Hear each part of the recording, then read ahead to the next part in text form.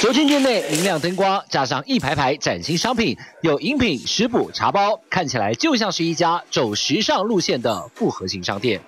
画面上陈列了很多茶包组，看起来好像是一个茶饮品店，但是我们往这边看，上面呢其实是一个传统的中药行，透过多元复合的经营，达到转型的目的。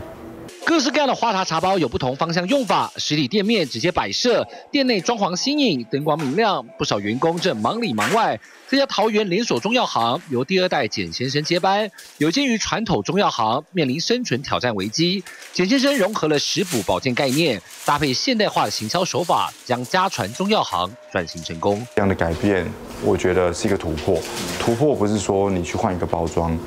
你要去突破这个思维，你要去跟。上一代，你要去沟通，你要让他知道你为什么要做这些改变。那我们当初我就其实，呃，我给他看了很多不同的产业的一些转型的一些好的案例。田先生老店重生转型，将中药行打造食补保健，搭配礼盒行销包装，电商行销应应。但毕竟仍有传统中药行面临极大挑战。目前全台湾约有七千多家中药行，数量只有全盛时期一万五千多家的一半，而且平均每年六七百家在收店。从以前早期可能旧旧破破，甚至很多呃装潢都不敢去更新。那我们一直在不断更新我们自己的硬体设备，对，包含我们会放一些呃像小冰柜啊这种东西，然后让我们进来的消费者他可以看到我们的第一个主要的商品。我们要把我们的商品去做得更好、更完善一点。那呃新鲜度也是要足够。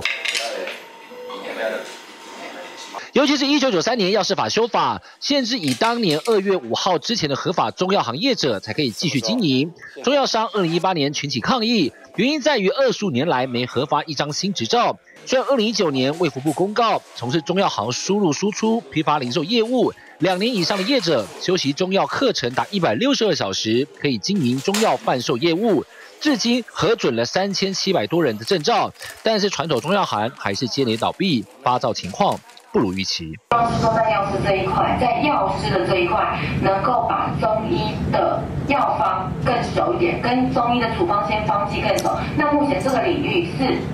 应该应该是医师是最熟，护理药师跟辅助的，一般我是在不管是从政府端或者是说在学界端，其实都没有缺的人才。